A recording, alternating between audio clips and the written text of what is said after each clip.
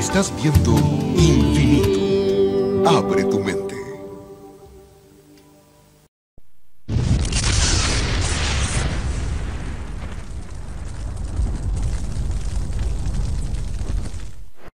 Tanto así que el rey consideró necesario dictar una ley para evitar el uso de las partes del cuerpo humano en oscuros ritos, diciendo así, si cualquier persona exhumara a un hombre, mujer o niño de sus tumbas, o la piel, hueso o cualquier parte de un cadáver para utilizarlos como parte de la brujería, el culpable sufrirá la pena de muerte.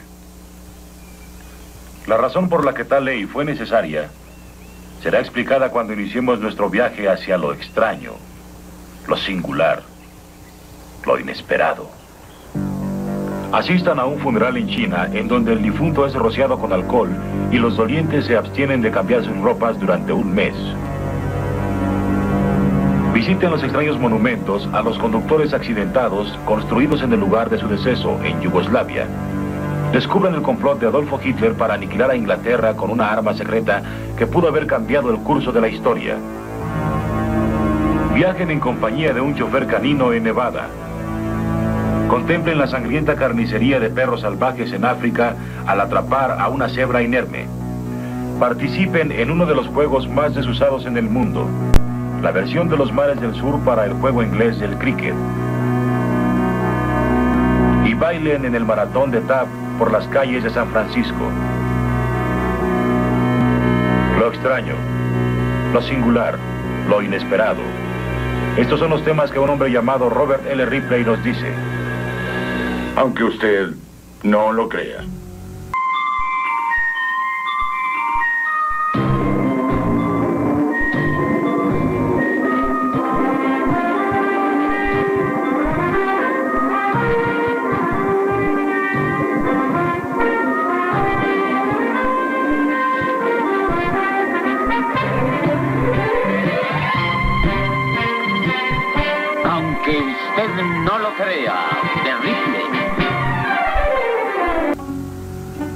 En los poblados y villas de la moderna Inglaterra, los artefactos de hechicería y brujería aún se conservan frecuentemente en un lugar de honor.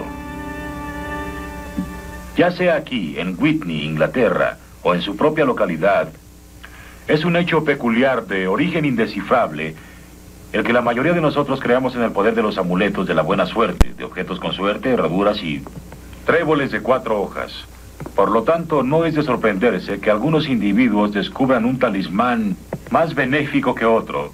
Por ejemplo, algunas personas silban cuando pasan por un cementerio, otras em, acarician una pata de conejo para tener buena suerte, y algunas otras depositan su fe en manos de la gloria. Esta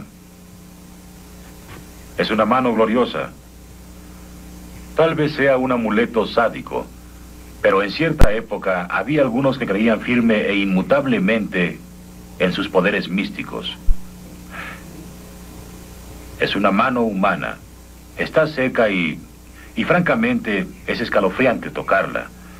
Tal vez sea porque se dice que es la mano de un... de un criminal. Ah.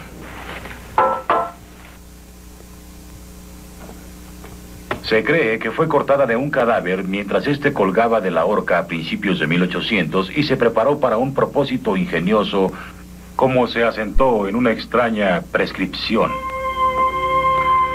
Las historias sobre su uso están muy extendidas, todas con una maquinación similar.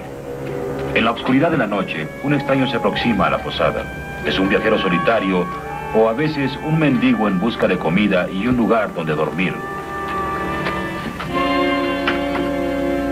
El visitante, sin embargo, no es siempre lo que parece ser.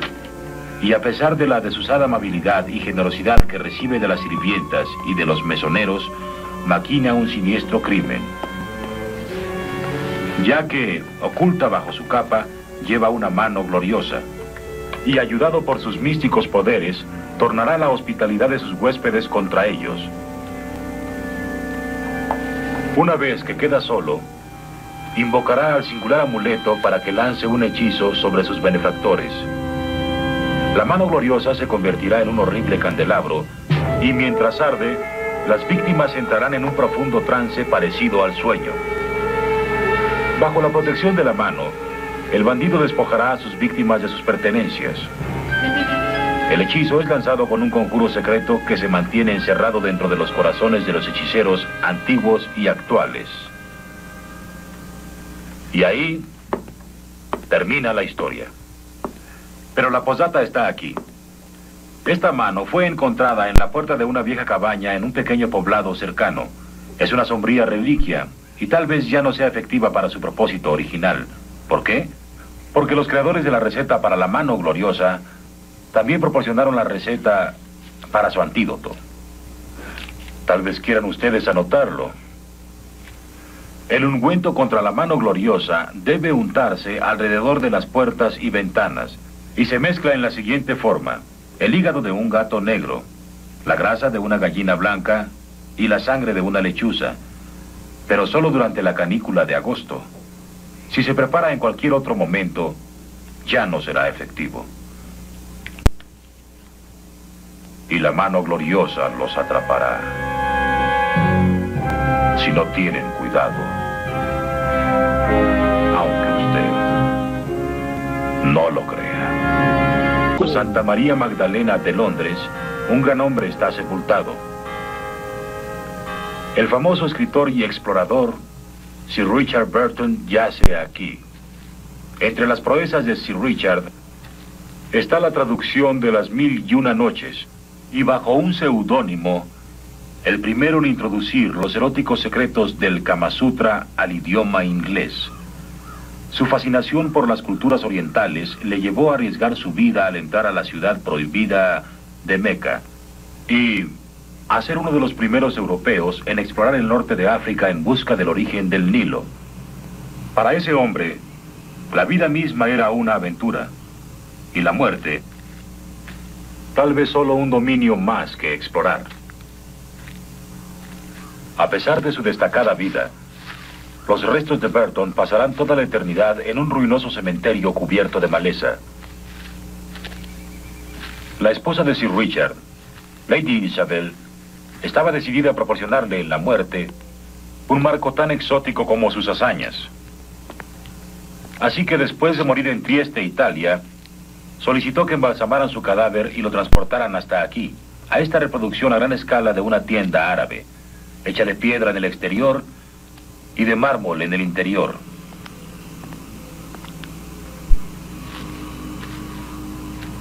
Finalmente, ella se le unió en esta tumba y aquí permanecen, casi olvidados.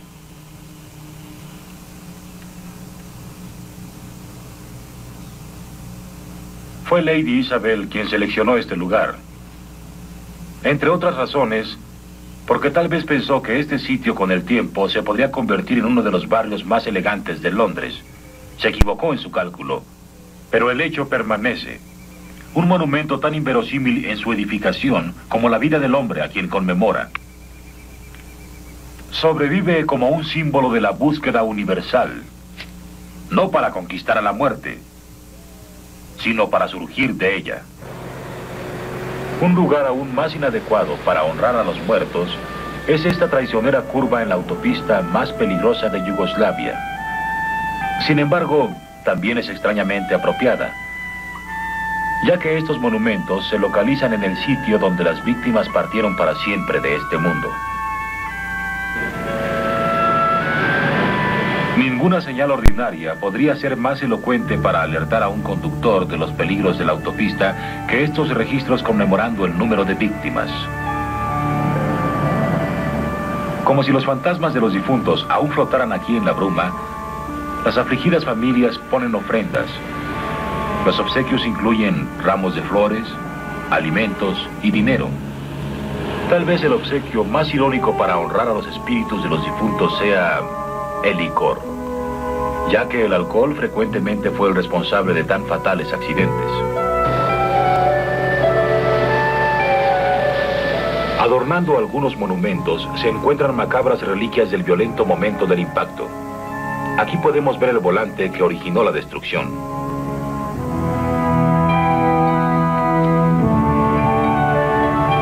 Estos singulares recuerdos mortuorios proporcionan una lección objetiva para los vivos, para que conduzcan con cuidado, para que no se unan a aquellos que dieron un violento giro hacia el más allá.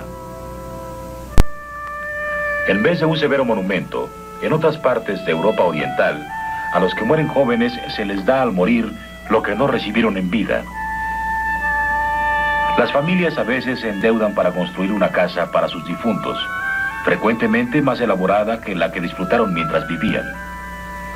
Algunos alardean con un televisor o un refrigerador, comodidades que sus residentes jamás disfrutarán. Las afligidas familias encuentran consuelo al visitar los hogares de sus difuntos.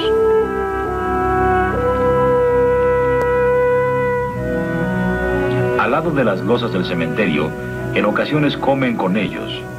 Una oportunidad de compartir el pan con alguien para quien los apetitos terrenales ya no existen. Muchos de los sepultados aquí murieron jóvenes, antes de alcanzar las promesas de la vida. Para otros, sin embargo, la muerte proporcionó el camino hacia la gloria. En Europa Oriental, un monumento conmemora a un patriota serbio, Stevan Singelic, que entregó su vida por su pueblo en 1809 combatiendo a las tropas turcas. Singelic mató a 10.000 soldados enemigos, muriendo él también al explotar un polvorín. En venganza, los turcos decapitaron a más de 900 serbios.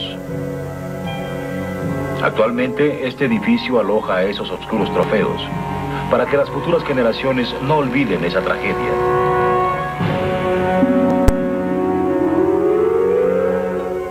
Este muro de calaveras fue edificado por los turcos para obligar a los serbios a someterse.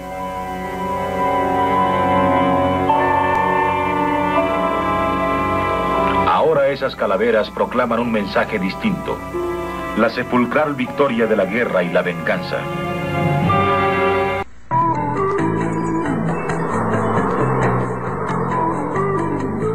Estás viendo infinito. Abre tu mente.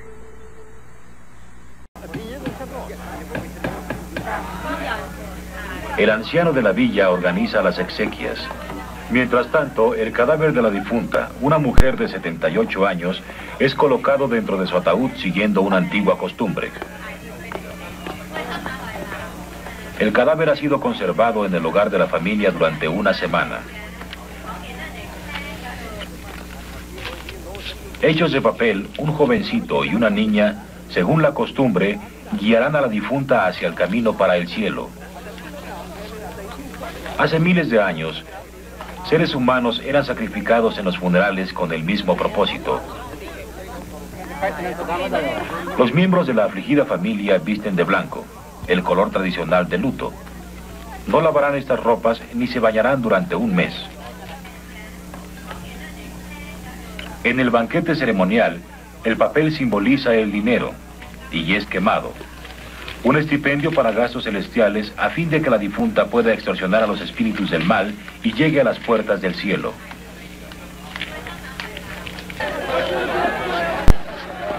Debido a que la costumbre prohíbe transportar a los muertos en cualquier tipo de vehículo, el cadáver debe llevarse a cuestas. Para disfrazar el olor del ya descompuesto cadáver, el ataúd es remojado en un vino de caña de dulce aroma. Posteriormente el ataúd es adornado con un dosel y la procesión se inicia. Siguiendo la marcha de la banda, los aldeanos transportan un sauce para dar buena suerte a la afligida familia. Unidos por cuerdas, como por sus lazos con el difunto, los dolientes simbólicamente tiran del ataúd. El meticuloso orden de la procesión se determina por la edad y la relación con el difunto.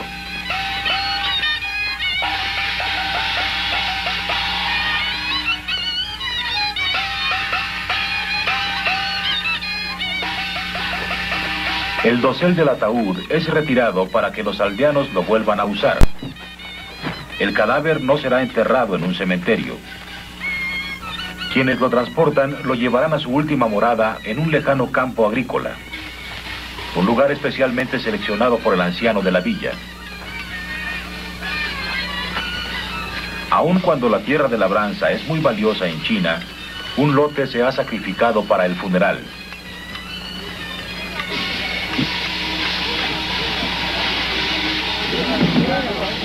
Después de que el ataúd ha descendido a la fosa, un tazón de grano es depositado en la tumba. La ofrenda se acompaña de los dos niños de papel, quienes viajarán con el espíritu hasta el cielo.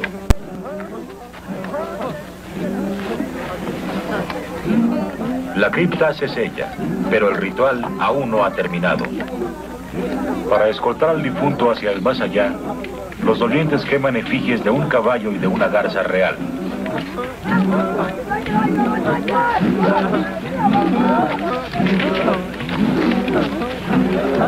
Los caminos hacia la tumba son exclusivos de cada sociedad.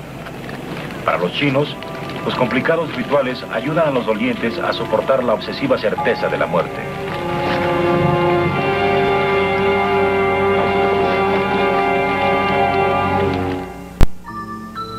Confiado en la resurrección, el doctor John Brown de West Virginia hizo que lo enterraran en forma vertical en un ataúd equipado con una ventana, aunque usted no lo crea.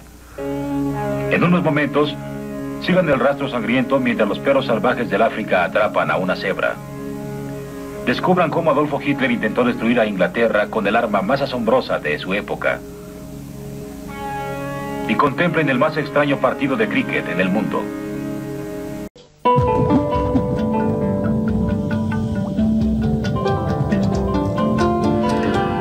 Estás viendo Infinito. Abre tu mente.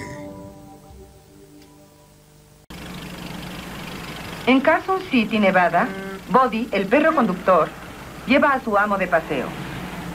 La sola vista de Buddy al volante se dice que ha causado pánico entre los conductores. Buddy verdaderamente conduce el auto, pero no se le permite hacerlo solo.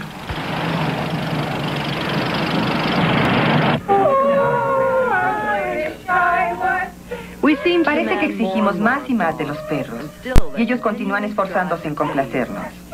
Es cierto que existe la barrera del lenguaje, pero aún esta recibe continuos asaltos.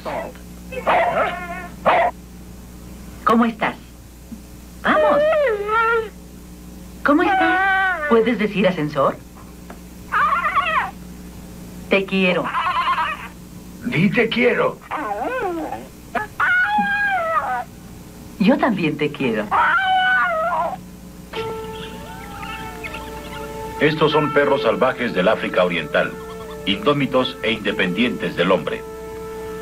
Su comportamiento revela ancestrales y profundamente arraigados instintos que todos los perros comparten. El perro es un animal muy socializado, respetuoso de los líderes que establece la jauría. Toda la jauría coopera en el cuidado de los cachorros. En sangriento y aparentemente brutal acto de matar para alimentarse, una jauría cazadora de perros salvajes explora las planicies africanas con mortal eficiencia. Una vez que han encontrado a su víctima, la perseguirán implacablemente. Los perros corren en relevos hasta que su presa queda exhausta. Cuando su víctima comienza a correr en círculos, el final se acerca.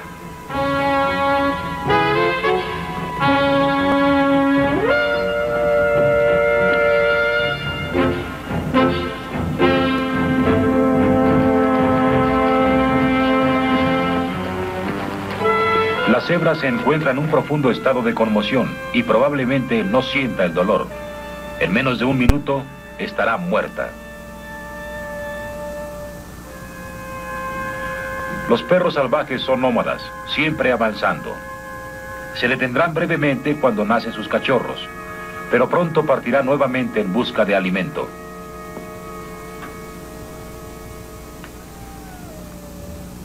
Los pequeños cachorros se relegarán un poco. Y entonces la hiena, uno de sus pocos predadores, avanzará esperando encontrar una presa fácil.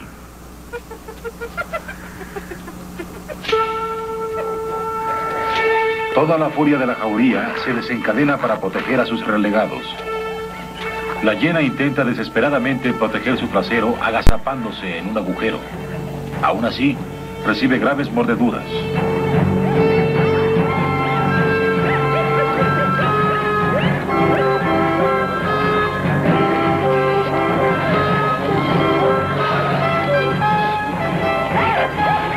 La hiena escapa con una dolorosa lección. Con su inteligencia y lealtad, el perro está maravillosamente capacitado para su eterna alianza con el hombre. Y en todas partes del mundo existen monumentos a su fidelidad. 1. En Edimburgo, Escocia, honra a un perro llamado como un cementerio. Greyfriars Bobby. Todo empezó aquí cuando el amo de Bobby murió y Bobby empezó a mantenerse en vela ante su tumba.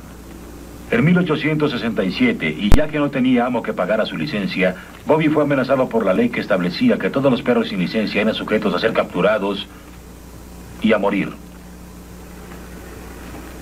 Fue entonces cuando el alcalde de la ciudad, un caballero llamado William Chambers, intervino.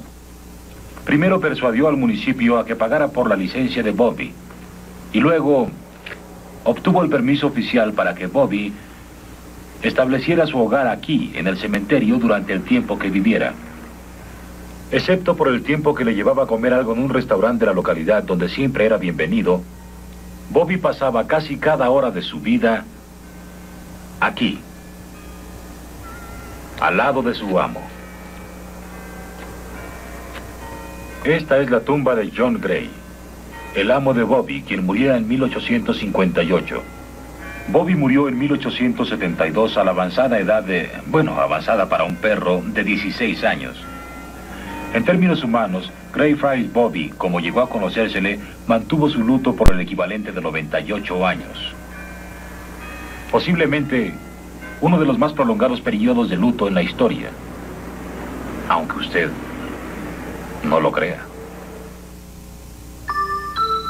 En el siglo XIX, el conde de Bridgewater vestía a sus perros mascota y cenaba con ellos a diario, aunque usted no lo crea. En unos momentos, el complot secreto de Adolfo Hitler para aniquilar a Inglaterra y que estuvo a punto de funcionar. Únase a un maratón de tap en San Francisco y contemple la versión de los mares del sur para el juego inglés del cricket.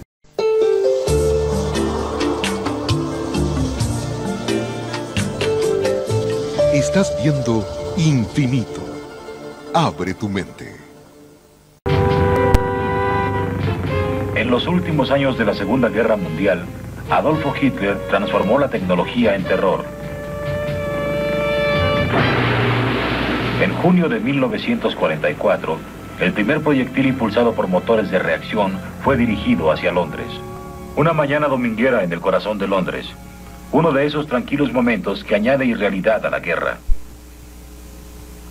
Podían escucharse los trinos de las aves en el parque de St. James. Se escuchaba un himno al ser interpretado en la capilla real del otro lado de la acera. Y entonces, casi dos toneladas de explosivos cayeron desde el cielo. La capilla desapareció bajo una enorme oleada de humo y llamas. Todo pasó en un instante.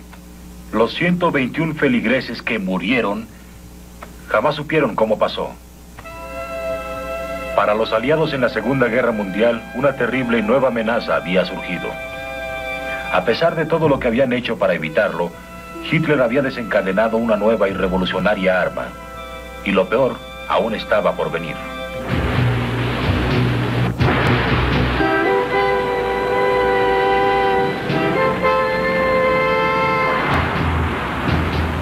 Una bomba autopropulsada a la que Hitler llamó la B-1. La B significaba venganza. Más de 7.000 detonaron en Inglaterra.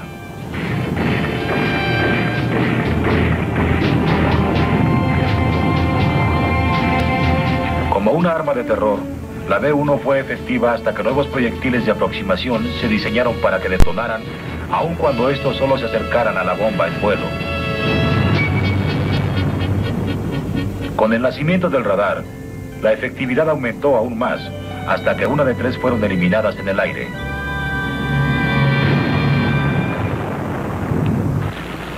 Para los pilotos de la Real Fuerza Aérea, el reto era derribarlas antes de que llegaran a zonas pobladas.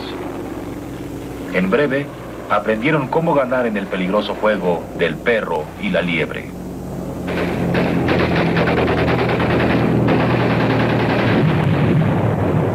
En el Centro de Investigación para Cohetes de los Nazis, en el puerto báltico de Peramonda, la elaboración de una arma nueva y más letal estaba tramándose.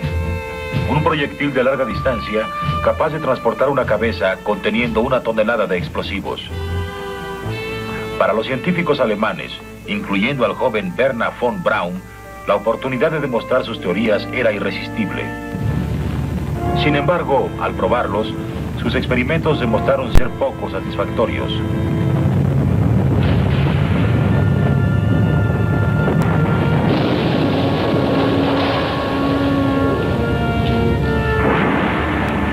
A pesar de su elaborado sistema direccional, el cohete era muy poco confiable. En casi todas las pruebas, lo que subía de inmediato bajaba en la cercana base de la Luftwaffe. La cadena de fracasos, sin embargo, no desalentó a los científicos en sus esfuerzos por continuar con sus experimentos. Se preparó una película que apoyara una solicitud de fondos adicionales, al igual que un estatus prioritario. Fue ideada para mostrarse a un solo espectador. Lo que Adolfo Hitler no sabía, claro, es que esta película solo presentaba aquellas pruebas que habían tenido éxito.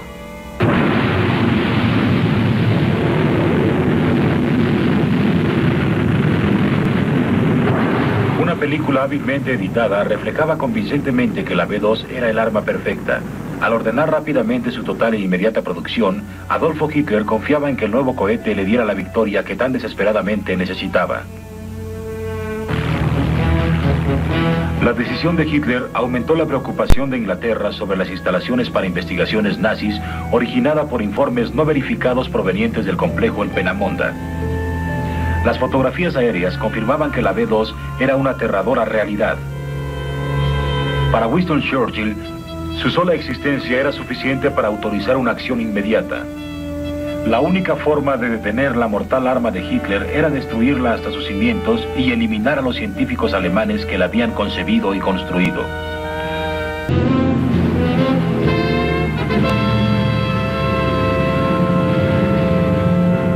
Destruir Penamonda y sus instalaciones, los británicos enviaron prácticamente a toda su fuerza de ataque formada por 600 bombarderos en masivo ataque nocturno.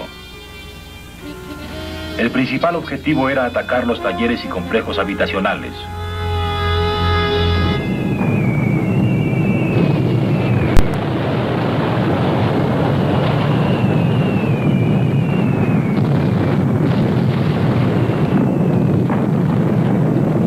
Al final del ataque, Penamonda ardía lentamente. Las casas de los científicos quedaron destruidas, pero los científicos escaparon. Trágicamente, las primeras bombas cayeron accidentalmente en un cercano campo de concentración, matando a algunos de los agentes que informaron de la B-2 a los británicos. Para los nazis, el ataque británico forzó la retirada de los proyectiles hacia la ocupada Polonia. Ahí, los experimentos secretos continuaron para perfeccionar el combustible y los sistemas direccionales, vitales si es que los cohetes debían cumplir con el sueño de Hitler de algún día atacar la ciudad de Nueva York. Aún con graves problemas, algunos cohetes explotaron o cayeron en zonas rurales al oriente de Polonia. Uno fue recuperado por miembros de la resistencia polaca.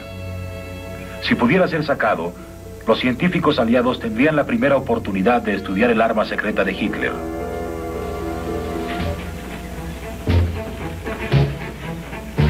Sus partes desmanteladas fueron escondidas en carretas con verduras como esta y transportadas a pistas clandestinas para ser llevadas a Inglaterra. El descubrimiento que hiciera Inglaterra de este cohete no pudo evitar, sin embargo, que los nazis se apresuraran a utilizar sus ya perfeccionados proyectiles. Disparados ahora desde una pista móvil, los B-2 estaban predestinados a atacar a Londres.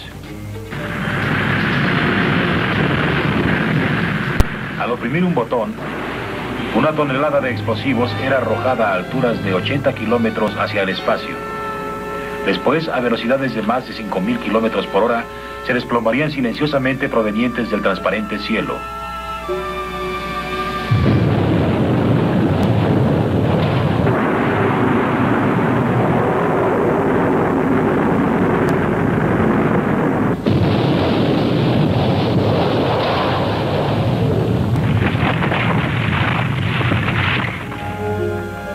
Proyectiles caían por igual en blancos militares y civiles. Manzanas enteras de la ciudad quedaban devastadas.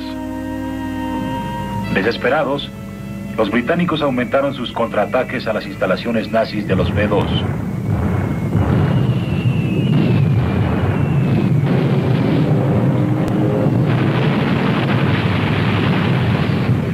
Sin embargo, fue hasta que las fuerzas aliadas penetraron a Alemania cuando estos mortales proyectiles dejaron de caer.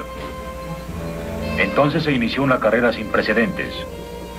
Los vencedores competían mutuamente para confiscar y poder utilizar el arma secreta de Alemania. Los británicos y los norteamericanos perdieron la crucial carrera de Penamonda. Las desiertas ruinas del campo de investigaciones nazi fueron capturadas por los rusos, quienes se apropiaron de todo el equipo alemán que cayó en sus manos. Sin embargo, Norteamérica ganó el gran premio. Lo mejor de los científicos en cohetes de Alemania, incluyendo al mejor especialista en proyectiles de Hitler, quien recientemente se había fracturado un brazo y quien pronto encabezaría el recorrido de Norteamérica hacia el espacio, el doctor Bernard von Braun. Actualmente, los cohetes alemanes de 1940 son crueles reliquias de la guerra exhibidos en museos. Paradójicamente, nos describen tanto lo mejor como lo peor de la capacidad en la mente humana. Mediten. Hitler construyó sus cohetes para vengarse. Con ellos cobró casi 9.000 víctimas e hirió a 24.000 más. El inmenso sufrimiento que provocó nada logró. Pero en su ciega y destructiva furia, Hitler dejó un legado que jamás imaginó. Otros hombres tornarían su tecnología del terror hacia otros fines. Hitler en una ocasión aseguró que conquistaría al mundo, aunque inconscientemente dio al mundo la llave para la conquista del espacio. Aunque usted no lo crea. Un avión impulsado por pólvora fue diseñado por un oficial del ejército alemán en 1847, aunque usted no lo crea. En unos momentos, una exhibición de tapa a través de San Francisco y un juego de pelota en los mares del sur que se convierte en un carnaval de gran animación.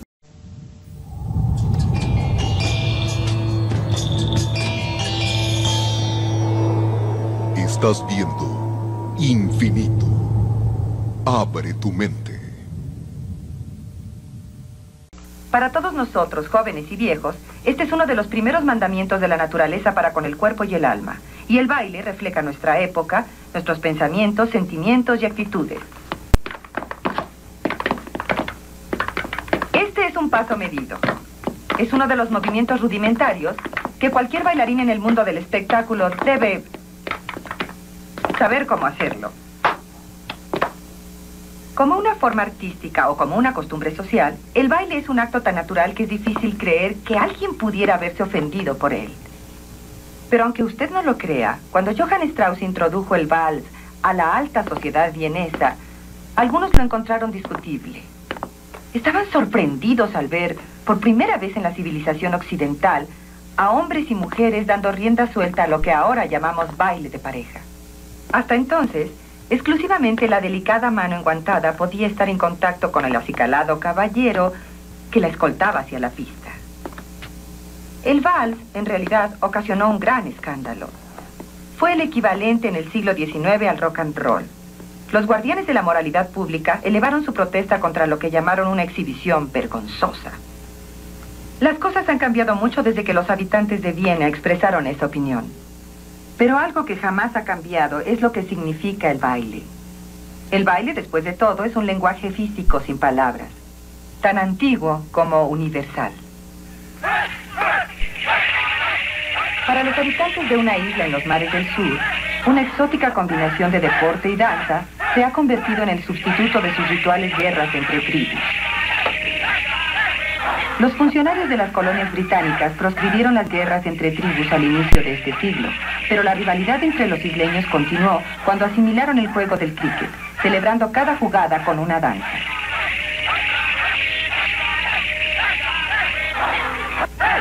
Este es el equipo de la aviación.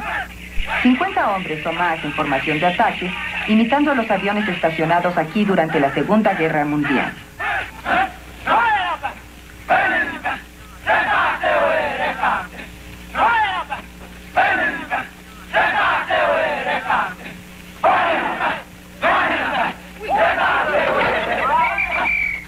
El juego continúa durante todo el día. Los jugadores son sus propios porristas. Se enorgullecen de sus habilidades y ridiculizan al equipo opuesto.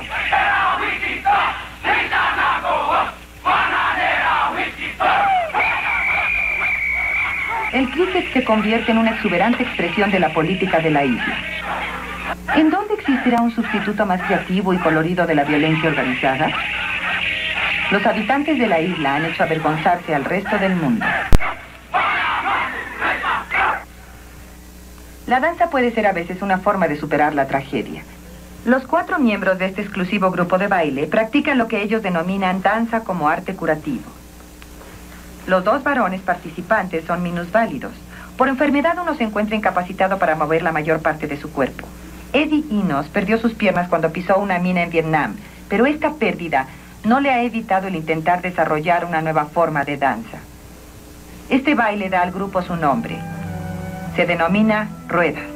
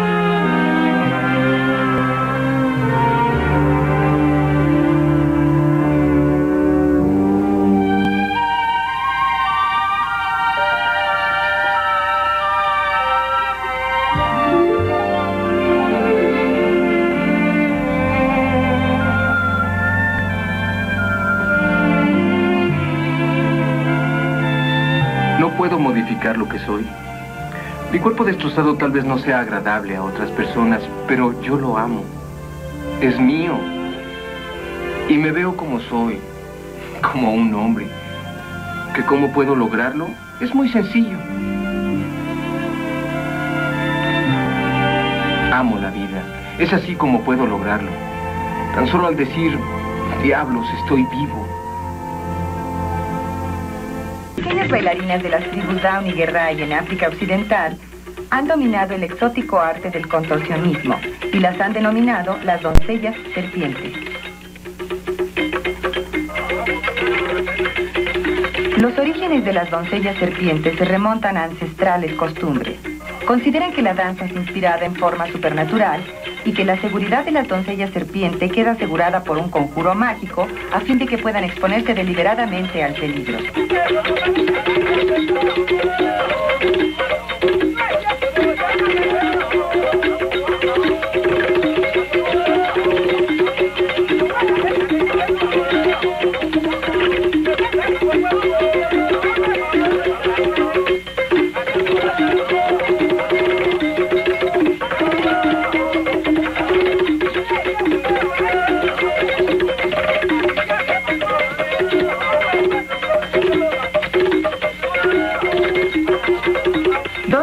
Cuchillos rozarán muy de cerca los cuerpos de las niñas en la máxima prueba de su invulnerabilidad mágica.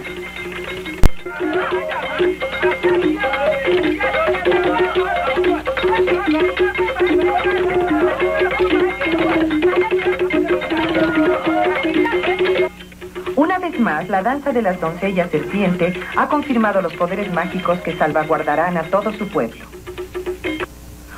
Espíritu muy diferente inspiró el maratón de tap recientemente realizado el Día del Trabajo por las calles de San Francisco. Un grupo denominado Rosy Radiador y los Levantaválvulas bailaron por las calles recorriendo 5 kilómetros, estableciendo un récord mundial.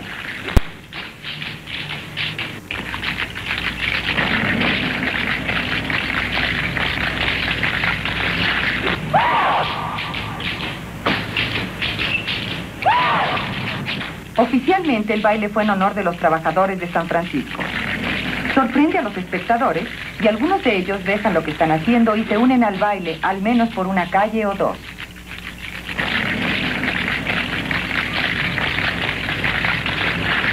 Yo creo en eso, yo creo. ¿Qué sucede? Algo debe haberla asustado. Después de casi tres horas de bailar sin parar, llega el momento del gran final. Lo hacemos por los trabajadores de la ciudad, lo hacemos por el TAP, lo hacemos por la ciudad misma y más que nada lo hacemos porque es muy divertido. Así que sin más preámbulos, vamos a presentarles el paso más importante dentro del TAP. El que deben haber perfeccionado, ya sea haciéndolo en 5 kilómetros o en 10 centímetros. ¿Listos?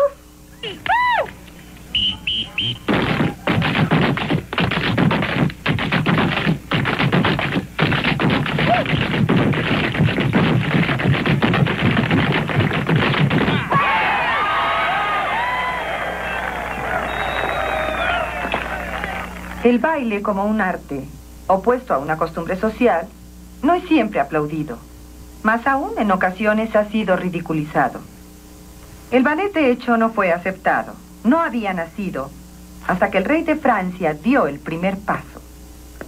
Su nombre era Luis XIV, y cuando tenía 15 años, fue el que encabezó una extravagante danza llamada Ballet de la Nuit, danza de la noche. Y fue así en realidad como Luis adquirió su apodo. Llevaba un traje que representaba la dorada órbita del Sol. Y durante el resto de su vida fue llamado el Rey Sol. Seguramente debió ser una representación asombrosa y prueba de la resistencia del soberano, al igual que el de su audiencia cautiva. Aunque usted no lo crea, la representación duró 13 horas.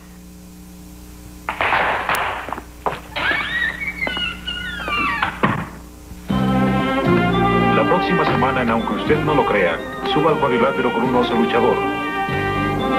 Descubra cómo dos enemigos por naturaleza llegan a una paz individual. Salte en un festival de fango en Japón. Y persiga a un dragón en una calle de Bélgica. Únase al desfile de patos en un hotel de Memphis. Y busque diamantes en Arkansas. Todo esto en la próxima emisión de Aunque usted no lo crea.